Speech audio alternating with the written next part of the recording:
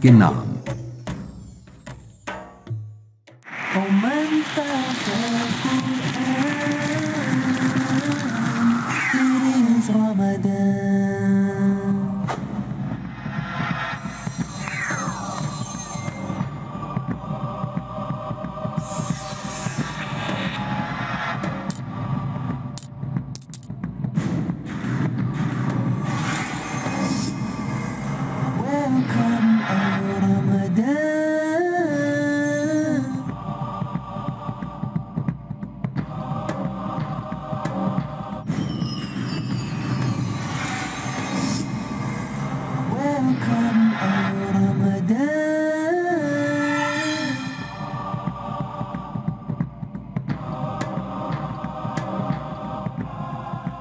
الحمد لله رب العالمين والصلاة والسلام على رسول الأمين وعلى آله وصحبه أجمعين إلى يوم الدين أما بعد.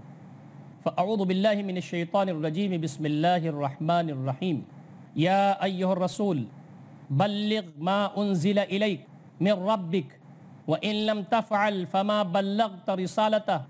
والله يعصمك من الناس. إن الله لا يهدي القوم الكافرين.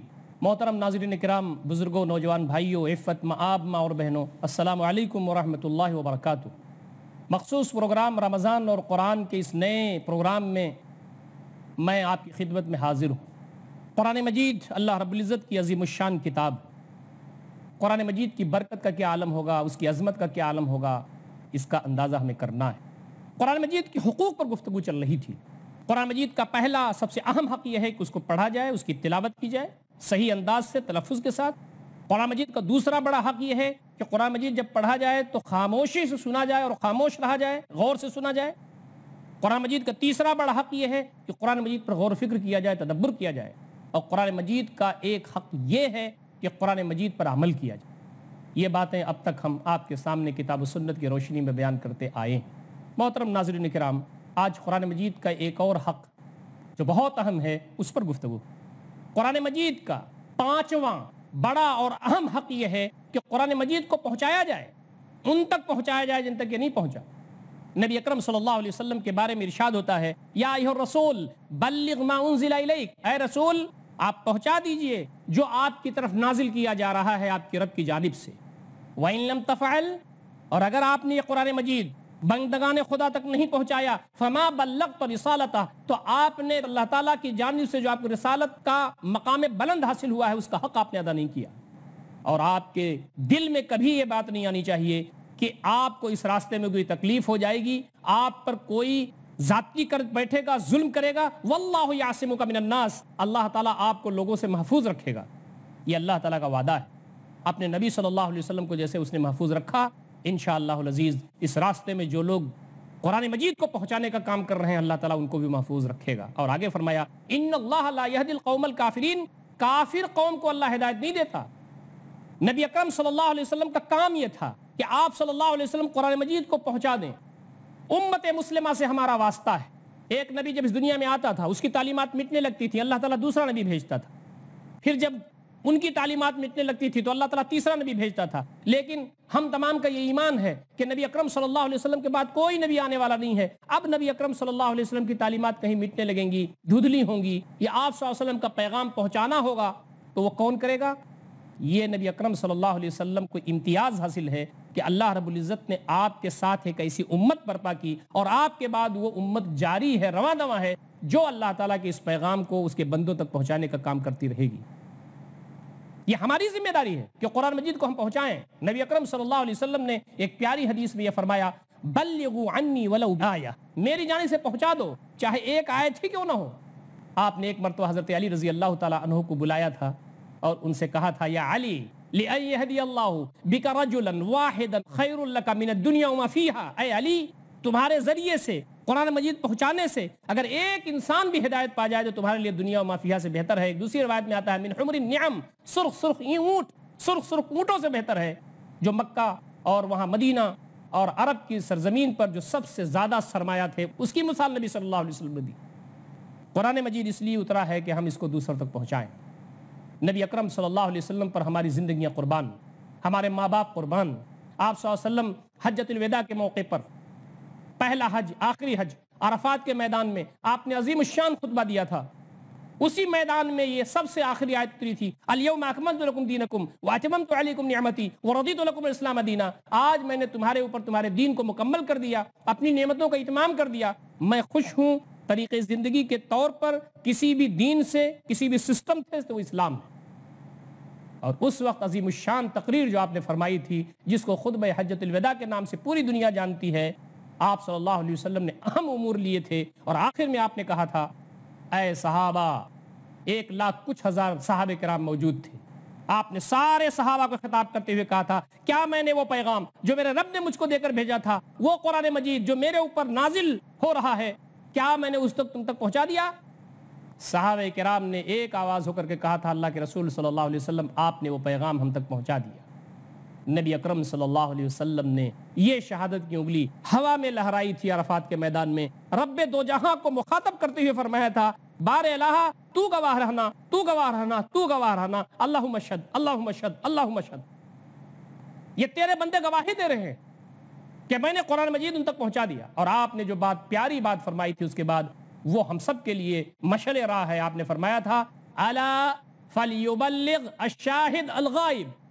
سنو جو یہاں موجود ہیں وہ ان لوگوں تک یہ بات پہنچا دیں جو یہاں موجود نہیں ہندوستان میں کیا ہم بہت اعلیٰ نسل کے اور فلاں اور فلاں اور چڑی اور چنا کہیں سے اتر کر کے یہاں آئے ہیں؟ نہیں۔ ہمارے ماں باپ ہمارے پرکھوں میں سے لوگ وہ تھے جو زلالت و گمراہی میں تھے۔ نبی اکرم صلی اللہ علیہ وسلم کا فرمان ان کے پاس آیا تو انہوں نے اس کو ایکسپٹ کیا، قبول کیا، آگے بڑھے۔ سعید روحیں تھی وہ۔ قرآن مجید ارشاد فرماتا ہے ادعو الى سبیل ربک بالحکمتی والموعظۃ الحسنۃ وجادلهم بالتي هي احسن اللہ تعالیٰ کے دین کی طرف، اللہ تعالیٰ کے راستے کی طرف، قرآن کی طرف تم بلاؤ حکمت کے ساتھ، اچھی نصیحت کے ساتھ۔ اور اگر جدال کرنے کی ضرورت پڑ جائے، تو اس طریقے سے کرو جو احسن۔ یہاں اہل کتاب مخاطب ہے۔ یہ حکمت کے ساتھ دین کو پہنچانا ہے، دین کو پیش کرنا ہے۔ ومن احسن قولا ممن دعا الى الله وعمل صالحا وقال انني من المسلمين۔ اس شخص سے بہتر کس کی بات ہوگی؟ جو اللہ تعالیٰ کی طرف بلائے، نیک عمل کرے اور کہے کہ میں مسلمانوں میں سے ہوں۔ یہ رتبے بلند ہے یہ ہماری ذمہ داری بنتی ہے کہ ہم اللہ تعالیٰ کے پیغام کو اس کے بندوں تک پہنچائیں۔ نبی مکرم صلی اللہ علیہ وسلم کی دل میں ہوک تھی ایک۔ دن رات صبح شام ایک ایک دروازہ نہیں تھا ایسا جو بچا ہو، اس کو کھٹکھٹایا نہ ہو۔ ایک ایک بار، دو دو بار، دس دس بار آپ نے دعوت دی تھی۔ پیار کے ساتھ، محبت کے ساتھ، اپنائیت کے ساتھ۔ دل کی رگوں کی گہرائیوں میں ایک پیار، ایک محبت، ایک ہوک کے ساتھ۔ جب آپ کی قرآن کی دعوت اللہ کے بندے ٹھکرا دیتے تھے، تو آپ کو تکلیف ہوتی تھی۔ یہی تکلیف ہمارے پاس۔ کاش کی یہ لوگ سمجھ لیتے، یہ لوگ جانتے نہیں۔ قرآن کہتا ہے، اے اللہ کے رسول کی آپ نے آپ کو ہلاک کر ڈالیں گے۔ اس غم میں کہ ایمان نہیں لاتے؟ آپ کی بات مانتے نہیں ہیں؟ اور نبی اکرم صلی اللہ علیہ وسلم کو جب اللہ تعالیٰ کے دین کو پہنچانے اور قرآن مجید کو پہنچانے کے راستے میں جب آپ کو پریشانی لاحق ہوتی، آپ کو ستایا جاتا، آپ کے جسم اطہر پر پتھر مارے جاتے، آپ کے جسم اطہر سے خون نکلتے، تو آپ صلی اللہ علیہ وسلم اس وقت بھی دعائیں دیتے۔ یہ نہیں جانتے ہیں۔ میری مثال تو اس شخص کی تھی ہے جس نے آگ کا الاؤ جلا ہو، اس میں لوگ دوڑ رہے ہیں، اس میں کود رہے ہیں، میں ان کی کمر پکڑ پکڑ کر کے جہنم سے نکال رہا ہوں۔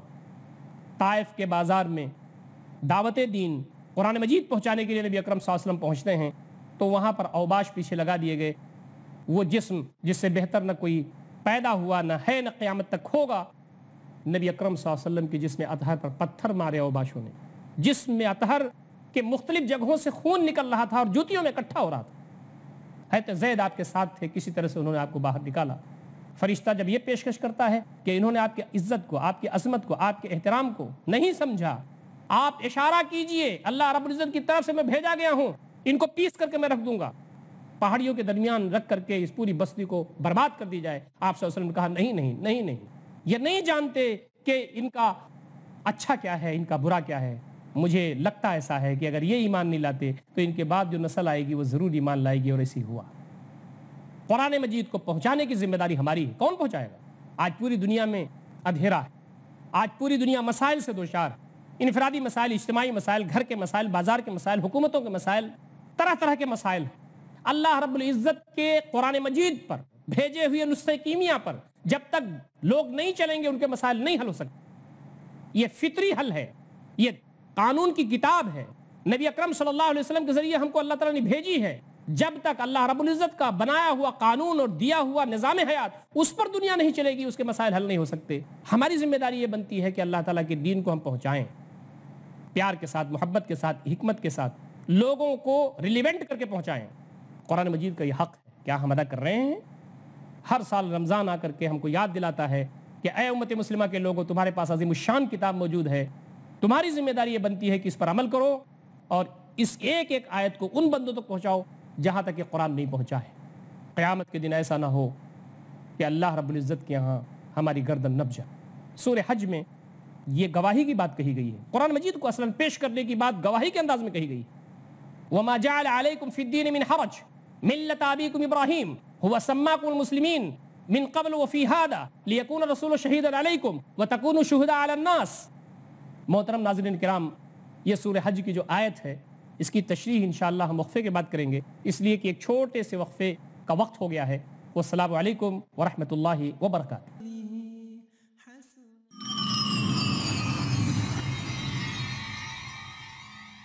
بسم اللہ الرحمن الرحیم۔ نبی مکرم صلی اللہ علیہ وسلم کی دل میں ہوک تھی ایک۔ دن رات صبح شام ایک ایک دروازہ نہیں تھا ایسا جو بچا ہو اس کو کھٹکھٹایا نہ ہو۔ ایک ایک بار، دو دو بار، دس دس بار آپ نے دعوت دی تھی۔ پیار کے ساتھ، محبت کے ساتھ، اپنائیت کے ساتھ، ایک پیار، ایک محبت، ایک ہوک کے ساتھ۔ جب آپ کی قرآن کی دعوت اللہ کے بندے ٹھکرا دیتے تھے تو آپ کو تکلیف ہوتی تھی۔ یہی تکلیف ہمارے پاس۔ کاش کہ یہ لوگ سمجھ لیتے، یہ لوگ جانتے نہیں۔ قرآن کہتا ہے، اے اللہ کے رسول کی آپ نے آپ کو ہلاک کر ڈالیں گے؟ اس غم میں کہ ایمان نہیں لاتے؟ آپ کی بات مانتے نہیں ہیں؟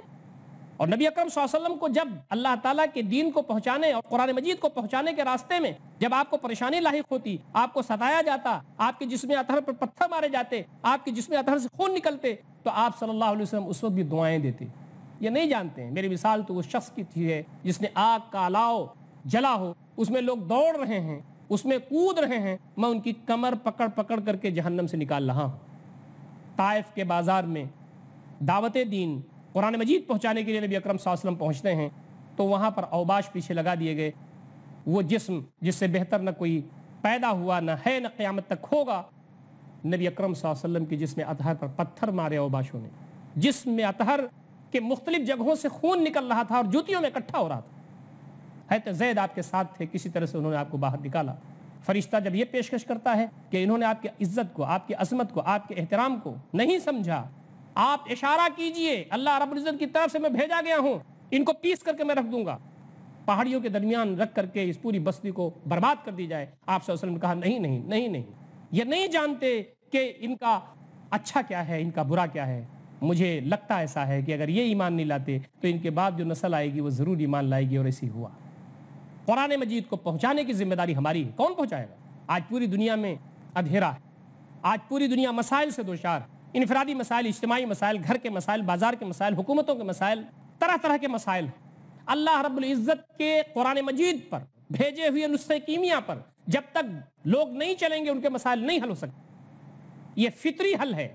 یہ قانون کی کتاب ہے۔ نبی اکرم صلی اللہ علیہ وسلم کے ذریعے ہم کو اللہ تعالیٰ نے بھیجی ہے۔ جب تک اللہ رب العزت کا بنایا ہوا قانون اور دیا ہوا نظام حیات اس پر دنیا نہیں چلے گی، اس کے مسائل حل نہیں ہو سکتے۔ ہماری ذمہ داری یہ بنتی ہے کہ اللہ تعالیٰ کے دین کو ہم پہنچائیں۔ پیار کے ساتھ، محبت کے ساتھ، حکمت کے ساتھ لوگوں کو ریلیونٹ کر کے پہنچائیں۔ قرآن مجید کا یہ حق ہے۔ کیا ہم ادا کر رہے ہیں؟ ہر سال رمضان آ کر کے ہم کو یاد دلاتا ہے کہ اے امت مسلمہ کے لوگوں، تمہارے پاس عظیم الشان کتاب موجود ہے۔ تمہاری ذمہ داری یہ بنتی ہے کہ اس پر عمل کرو اور اس ایک ایک آیت کو ان بندوں تک پہنچاؤ جہاں تک یہ قرآن نہیں پہنچا ہے۔ قیامت کے دن ایسا نہ ہو کہ اللہ رب العزت کے یہاں ہماری گردن نب جائے۔ سورہ حج میں یہ گواہی کی بات کہی گئی ہے۔ قرآن مجید کو اصلا پیش کرنے کی بات گواہی کے انداز میں کہی گئی وما جعل علیکم فی الدین من حرج، ملت آبیکم ابراہیم هو سماکم المسلمین من قبل وفی هذا لیکون رسول شہیدا علیکم وتکونوا شہداء علی الناس۔ محترم ناظرین کرام، میں یہ عرض کر رہا تھا کہ قرآن مجید کا ایک حق یہ ہے کہ اس کو پہنچایا جائے اور یہ اس کو قرآن مجید نے گواہی سے تعبیر کی۔ وما جعل علیکم فی الدین من حرج۔ دین میں کوئی زور زبستی اللہ رب العزت نہیں رکھی ہے۔ ملت آبیکم ابراہیم، یہ تمہارے باپ ابراہیم کی ملت ہے۔ ہوا سماکم المسلمین، اس نے تمہارا نام مسلمان رکھا ہے۔ من قبل و فی هذا اس سے پہلے بھی اور اس شریعت میں بھی۔ کیوں؟ لیکون الرسول شہیدا علیکم وتکونوا شہداء علی الناس۔ تاکہ تم لوگوں پر گواہ بنو۔ لیکون رسول شہید علیکم تاکہ رسول تمہارے اوپر گواہ بنے۔ وہ تکون شہدا الناس، اور تم لوگوں پر گواہ بنو۔ اس لیے قرآن مجید کا ایک بہت بڑا حق ہمارے اوپر یہ ہے کہ ہم اس کو دوسروں تک پہنچائیں، بندگان خدا تک پہنچائیں۔ نبی اکرم صلی اللہ علیہ وسلم نے فرمایا بلغوا عنی ولو آیا میری جانب سے پہنچا دو قرآن مجید، چاہے ایک آیت ہی کیوں نہ ہو۔ محترم ناظرین کرام، قرآن مجید کا ایک اور حق ہے۔ میں چاہتا ہوں کہ پروگرام کی اختتام سے پہلے میں اس پر بھی آپ کے سامنے تھوڑی سی روشنی ڈال دوں۔ عام طور پر لوگوں کے نظروں سے وہ چیز اوجھل رہتی۔ عام طور پر قرآن مجید کے حقوق ہی پانچ سمجھے جاتے ہیں۔ قرآن مجید کا ایک بڑا حق، اہم حق یہ ہے کہ قرآن مجید کو نافذ کیا جائے اس زمین پر۔ قرآن مجید ایک دستور کی کتاب ہے، قانون کی کتاب ہے۔ جب تک قرآن مجید اس زمین پر نافذ نہیں ہوگا، لوگوں کے مسائل حل نہیں ہوں گے۔ الحکم الا للہ امرا اللہ تعبد الا ایاہ۔ حکم نہیں ہے مگر اللہ رب العزت کا۔ امرا اللہ تعبد الا ایاہ، اس نے حکم دیا ہے کہ تم عبادت نہ کرو اسی کی۔ جب پوری کائنات اس کی ہے، پوری کائنات میں حکم اس کا چلتا ہے، تو انسانوں تم اپنے اندر بھی اس کا حکم چلاؤ۔ قرآن مجید یہ ہم کو بتاتا ہے کہ اللہ رب العزت کا حکم کیا ہے۔ کیا اللہ تعالیٰ کے علاوہ میں کسی کو فیصل سمجھوں؟ حکم دینے والا سمجھوں؟ آرڈر دینے والا سمجھوں؟ وہی ہے جس نے تمہارے طرف کتاب کو نازل کیا ہے، جو کتاب مفصل ہے، تفصیل کے ساتھ بات کرتی قرآن مجید میں اللہ رب العزت کے احکامات، پوری دنیا میں اس کے احکامات چل رہے ہیں۔ قرآن مجید میں احکامات اس کے بیان ہوئے ہیں کہ بندے اس کو اپنی زندگی میں نافذ کریں۔ ایک جگہ اور ارشاد ہوتا ہے۔ اف حکم الجاہلیت یبغون ومن احسن من اللہ حکما لقوم یوقنون کیا یہ جاہلیت کا فیصلہ چاہتے ہیں؟ نبی اکرم صلی اللہ علیہ وسلم خطاب کر کے اللہ فرماتا ہے کہ کہہ دیجیے، کیا یہ جاہلیت کا فیصلہ چاہتے ہیں؟ جاہلیت کا فیصلہ اگر یہ چاہتے ہیں تو ان کو بتا دیجیے کہ اللہ رب العزت سے زیادہ یقین کرنے والے لوگوں کے لیے کسی کا فیصلہ قابل قبول نہیں ہوتا۔ یہ کفر کا اور شرک کا اور شیطان کے متبعین یہ ہیں، ان کا فیصلہ یہ چاہتے ہیں، ان کا حکم چاہتے ہیں، لیکن جو اللہ رب العزت پہ یقین رکھتے ہیں، ایمان رکھتے ہیں، ان کے لیے اللہ رب العزت کا فیصلہ ہی قابل قبول ہوتا ہے۔ قرآن مجید نے توریت کے بارے میں بھی یہ کہا ہے کہ توریت کے مطابق عمل ہونا چاہیے اور توریت کے مطابق فیصلہ ہونا چاہیے۔ انجیل کے بارے میں بھی یہ کہا ہے کہ انجیل کے مطابق فیصلہ ہونا چاہیے۔ قرآن کے بارے میں یہ کہا ہے کہ قرآن کے مطابق فیصلہ ہونا چاہیے۔ تورات اور انجیل میں تو انہوں نے تحریف کر دی۔ اب اتھینٹک کتاب قرآن مجید بچی ہے۔ کہا کہ جو قرآن مجید کے مطابق فیصلہ نہیں کرتے، وہ فاسق ہیں، وہ ظالم ہیں، وہ کافر ہیں۔ آج مسلمانوں کو آپ دیکھتے ہیں، آسانی کے ساتھ باطل کی عدالتوں میں فیصلہ لینے اور فیصلہ دینے وہ پہنچ جاتا ہے۔ اسے اللہ کے نبی صلی اللہ علیہ وسلم کا فیصلہ، اسے اللہ رب کا فیصلہ، اسے قرآن کا فیصلہ نہیں پسند ہے۔ جبکہ یہ بات کہی گئی ہے، فَإِن تَنَازَعْتُمْ فِي شَيْءٍ فَرُدُّوهُ إِلَى اللَّهِ وَالرَّسُولِ۔ اگر تمہارے درمیان کبھی نزا پیدا ہو جائے، کوئی جھگڑا پیدا ہو جائے، اللہ اس کے رسول کی طرف لوٹاؤ، جس کی شریعت میں یہ کہا گیا ہے، جس کے دین میں یہ کہا گیا ہے۔ اس کا حال یہ۔ کیوں؟ قرآن مجید ہم سمجھتے نہیں۔ قرآن مجید پر ہماری زندگی ہے نہیں۔ اور قرآن مجید کے بارے میں ہم کو یہ بھی نہیں معلوم ہے کہ قرآن مجید کون سی کتاب ہے۔ آج پوری دنیا میں دو چیزیں ایسی ہیں جس سے باطل لرز رہا ہے۔ ایک تو قرآن مجید اور دوسری نبی اکرم صلی اللہ علیہ وسلم کی ذاتی گرامی۔ اسی لیے آپ دیکھتے ہیں کہ ریشہ دوانیاں جو پوری دنیا میں ہوتی ہیں، وہ یا تو قرآن مجید کے سلسلے میں ہوتی ہیں یا نبی محترم صلی اللہ علیہ وسلم کی ذات گرامی کی ارد گرد گھومتی ہیں۔ دو ہی پوائنٹ ہے اس وقت دشمنان اسلام کے پاس ٹارجٹ کرنے کا۔ ان کو معلوم ہے کہ یہ دونوں چیزیں جب تک اس زمین پر رہیں گی، ہمارے عزائم پورے نہیں ہو سکتے۔ اور یہ وہ چیز ہے جو ہمیشہ باطل کو اور تاغوت کو چیلنج کرتی رہے گی۔ قرآن مجید کا یہ حق بنتا ہے کہ قرآن مجید کو اس زمین پر نافذ کیا جائے، اس پر عمل کیا جائے، اور اگر بندگان خدا اس پر عمل نہیں کرنے کے لیے تیار ہیں، تو پوری دنیا میں سکون رکھنے کے لیے، اطمینان رکھنے کے لیے ایسے شاطر اور بدماش لوگوں کو مجبور کیا جائے کہ وہ اللہ رب العزت کی پابندی اور اللہ رب العزت کی غلامی کی طرف آئیں۔ ایسا نظام قائم ہو اس دھرتی پر، جیسا کہ نبی بکرم صلی اللہ علیہ وسلم نے قائم کر کے دکھایا۔ ایک جگہ کہا جا رہا ہے، وَمَن لَمْ يَحْكُمْ بِمَا أَنزَلَ اللَّهُ فَأُولَٰئِكَ هُمُ الْكَافِرُونَ۔ جو فیصلہ نہ کریں اس کے مطابق جو اللہ نے نازل فرمایا یعنی اللہ تعالیٰ کے احکامات اور اس کی نازل کردہ کتاب کی روشنی میں جو فیصلہ نہ کریں، وہ کافر ہیں۔ وَمَن لَمْ يَحْكُمْ بِمَا أَنزَلَ اللَّهُ فَأُولَٰئِكَ هُمُ الظَّالِمُونَ۔ جو فیصلہ نہ کریں، اس کے مطابق جو اللہ تعالیٰ نے نازل کیا، وہ ظالم ہیں۔ وَمَن لَمْ يَحْكُمْ بِمَا أَنزَلَ اللَّهُ فَأُولَٰئِكَ هُمُ الْفَاسِقُونَ۔ جو لوگ اللہ تعالیٰ کی نازل کردہ آیات اور اس کے احکامات کے مطابق فیصلہ نہ کریں، وہ فاسق المائدہ کی یہ آیات، آج ہمارا حال کیا ہے؟ اللہ رب العزت سب سے بڑا حاکم۔ اسی کا حکم پوری زمین پر چل رہا ہے۔ علیہ صلی اللہ بحکم الحاکمین؟ کیا اللہ رب العزت سارے حاکموں کا حاکم نہیں ہے؟ قرآن مجید حکم کی کتاب ہے۔ قرآن مجید قانون کی کتاب ہے۔ ہماری ذمہ داری بنتی ہے کہ قرآن مجید کے نفاذ کے لیے ہم اس دنیا میں کوشش کریں۔ ایک اور آیت میں اللہ رب العزت نے ارشاد فرمایا ہے، اقیم الدین ولا تتفرقوا فی دین کو قائم کرو یعنی قرآن کو قائم کرو اور اس میں کوئی انتشاء افتراق میں مبتلا نہ ہو۔ نبی مکرم صلی اللہ علیہ وسلم نے دین کو قائم کر دیا۔ آپ کے بعد حضرات خلفائے راشدین نے دین کو قائم کیا۔ سکون تھا، اطمینان تھا، چین تھا ام تھا، شانتی تھی۔